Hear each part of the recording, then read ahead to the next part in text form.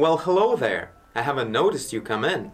So as you may already know by the name of the video, this is an episode about Outlandish Curiosity, the book that we work on with the writer Kevin Folk. And today I wanted to go through maybe two, three pages, detailing them a little bit, like rendering them further from that doodle stage that we've talked about in the previous episode, in the Outlandish Curiosity playlist. And if that's not enough for the greatest video, I decided to also spice it up by making the whole process a bit more casual and free. On this channel I always try to show you guys how not to just become a better artist, but also how to make your life easier, how to avoid painting details that you don't know, how to think properly about your work. But today I also decided to show you how you can apply the mobile technology to paint the way every freelancer artist imagines his work, but never really has it that way.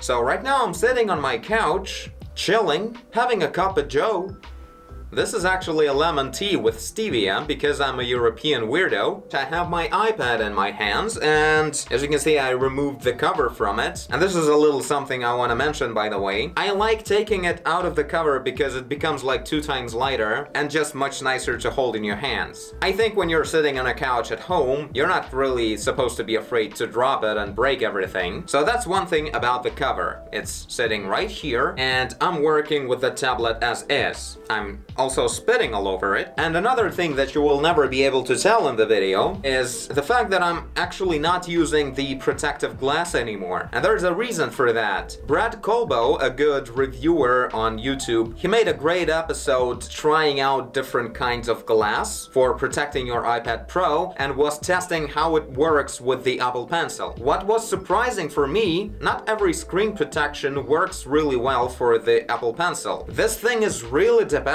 on the distance between the glass and the tip of the pencil to the point where if you're using 0.4 millimeter glass on your screen, you will have wiggly lines when you draw. It kind of messes up the mapping of it or something. So I also tried 0.3, 0.26 glass. I'm not sure that was true because when it was delivered, it had no boxing or anything. Nothing was reassuring me about the fact that this was actually that thin of a protective glass. And it felt kinda thick. I don't know, the point is that it's really hard to find a good protective glass that would work with Apple Pencil. So after two protective glasses, I was pissed enough with the whole wiggly situation that I decided to switch to just a simple film. It's a lot harder to put it on and avoid bubbles all over the screen, but it's gonna protect your screen from the scratches, and with Apple Pencil that's a thing that very much is gonna happen if you're not using any protection on the screen. Obviously it's not gonna save your iPad from the drop, but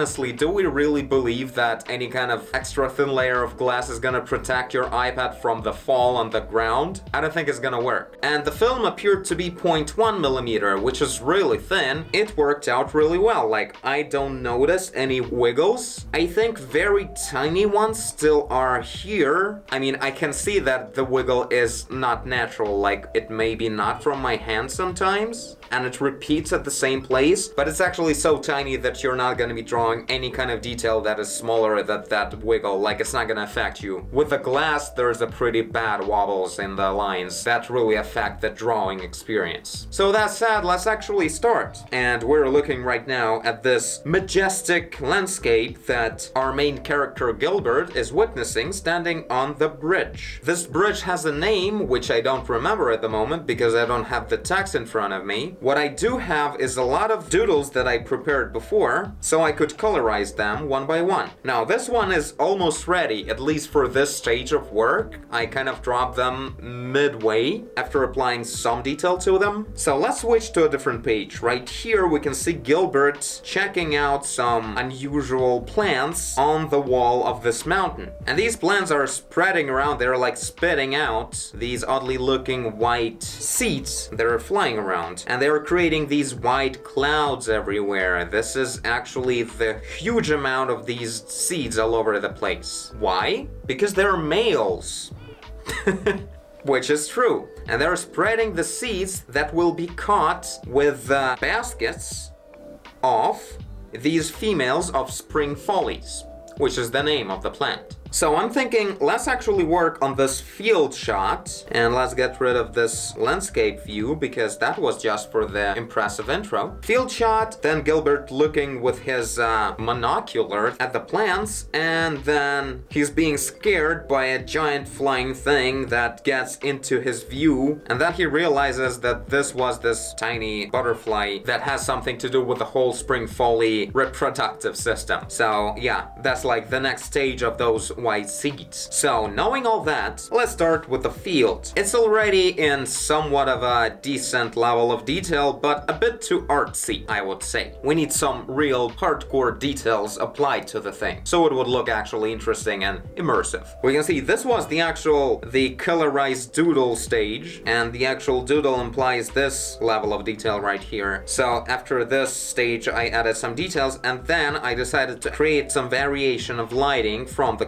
clouds, because the previous stage felt a bit too flat, you know, everything is just perfectly yellow, bright, and this looks a lot more interesting. So let's merge that down on the previous stage. And yeah, let's work a little bit with the clouds. What I want to do right now, I want to add a bit more details on this area because it feels really flat. Well, I just left it for now, for then, to uh, keep working on later. This is a good way to keep everything, you know. If I will forget about it, it's not gonna be a disaster. And it's also very easy to add anything on top because I'm gonna just grab any kind of color like this and I'm just gonna be adding like silhouettes pretty much. At a certain distance you switch from the whole light and shadow rendering to just silhouettes because objects at a big distance they mostly appear like just their main color and you should really keep that in mind while working otherwise your whole landscape will break into separate paintings of objects that don't combine together into one thing because there is a very huge like range of contrast, range of brightness everywhere. And really, when you bring all that range into one view, the light and shadow difference of each object on this landscape really becomes so low contrast that you shouldn't really pay attention to it. Otherwise, everything will be too bright and too dark in some areas and nothing will really stand out. It will look flat and weird. There's actually a lot of sense in what I just said, but I'm not sure that I was clear enough.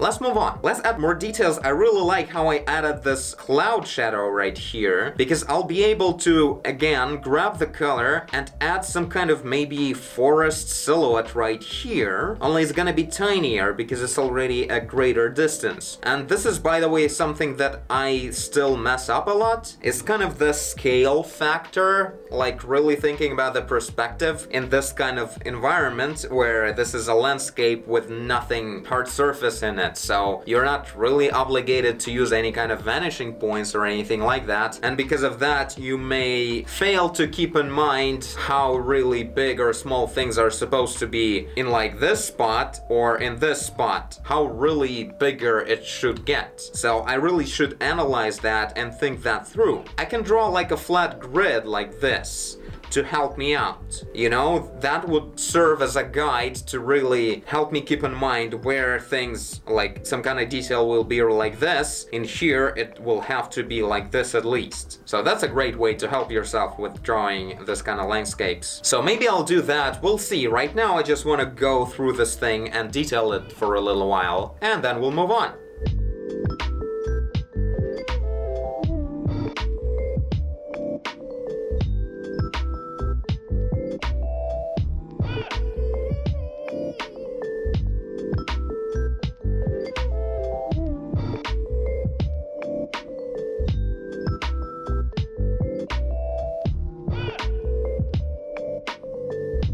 Alright, so here we go. It's been about an hour of work or something like that. Well, this is just a lovely progress. The field still needs a lot of work, obviously, but I think I added some sense into it. I created the grid like this and actually used the transformation tools to put it into the plane of the ground. Yeah, I think it's much closer to the final result now. Not there yet, but again, that wasn't the plan. I really like how area over here really became became much more filled with details, same as on the left. And the soil in the foreground also doesn't lack all that much of details as it used to. Well, this is just great. So yeah, as you can see, I keep using Art Studio Pro. Definitely my software of choice at the moment. I really love the brush engine and the fact that it's really, really fast. Also, another thing that is a bit unexpected, but it's actually a huge deal, especially for working with a book, is the ability to show your gallery like this with the folders and quick access to all the documents in your app. This way it's really important to have it in such a nice presentation and also being able to have several documents open at the same time kind of makes it a bit faster as well. Really cool. So there's been an update since the last time we talked about this. There is a huge improvement in this uh, full screen mode, although it's not really a full full screen. Not a lot of stuff really disappears, it just changes. So we have nice brush size changes right here, which is new. It wasn't here before. And for the flow, kind of resembles of these bars in Procreate. So yeah, really cool update. Undo, redo in the top left corner. Also really nice. Quick selection of the brush. You pretty much have almost everything you need in here, which is awesome. Of course, I could really use a constantly present color box on the screen, but I believe believe that's in development, actually. Another awesome improvement in this new version is actually a filter called Elastify, literally an equivalent of Liquify from Photoshop. And what I was surprised by is the fact how it's actually awesome. You know, the first version of Liquify always sucks in any program. In here, it's super fast, it works really well, no glitches whatsoever, it just works. There are different kinds of modes as well and everything, and it all works like it's really thought through. Of course, I myself never use Liquify, except for the times when I do. So yeah, I'm afraid we're actually out of time already. Maybe we'll work a little bit on the on this next page right here to detail it a bit more for the next 15 minutes or so. But mostly we're done for today. Maybe I'll move my work process to bed. That's something I've been practicing a little bit. One thing I really have to still get used to with iPad is how it's actually more comfortable than any kind of on-table tablet. Like when I need to draw something at a weird angle, I can actually like move it around. That's a big thing. You should get used to the fact that it's really light and easy to move around.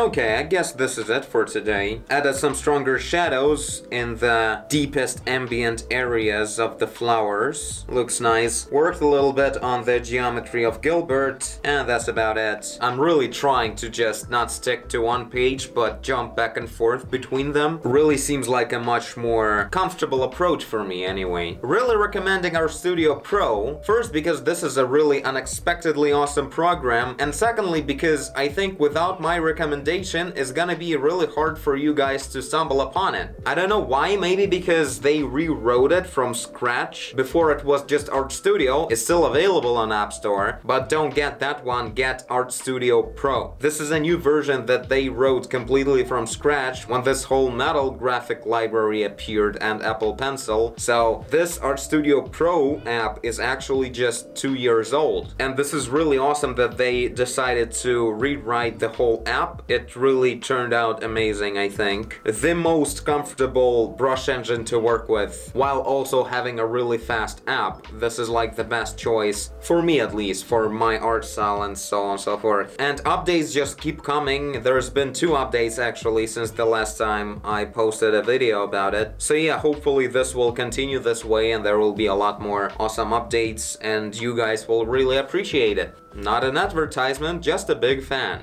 So yeah, this is it for today. Hope you liked my little taste of working on this big book commission. I don't always use iPad for that. I have this whole gallery of pages for the Outlandish Curiosity in Adobe Bridge on my desktop, so I use Photoshop to work on the pages as well. But lately I found that with this comfortable brush engine, with the fact that I can set up brushes really comfortably, really close to the way Photoshop works, pretty much identically actually, it really helps to work even with this whole situation with the absence of the hovering cursor with Apple Pencil, the fact that I can't really use custom keyboard shortcuts in Art Studio Pro. I haven't used the keyboard at all today because this is not that kind of a process where you really need it, although it would make me kind of a lot faster, but it's actually something that I've been talking about a lot before, that sometimes to actually work faster, you should work slower but smarter. Like, it's not necessary to make strokes really quickly, it's more about how you make them more correctly so you don't have to repaint and fix the same areas of the painting all the time. So in that sense, iPad kind of makes you tone down your pace of work and think more about what you're actually doing. Maybe there's some potential in that sense, but still could really use custom keyboard shortcuts, could really use a hovering cursor. Those two things would be awesome to have.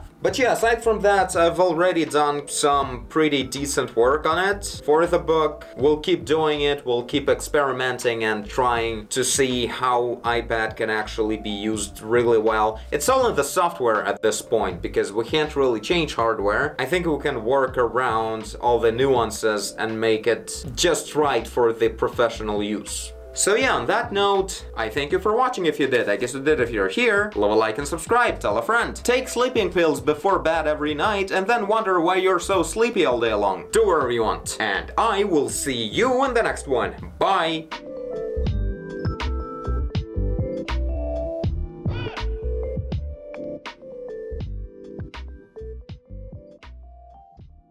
Bye! What a jumpy couch.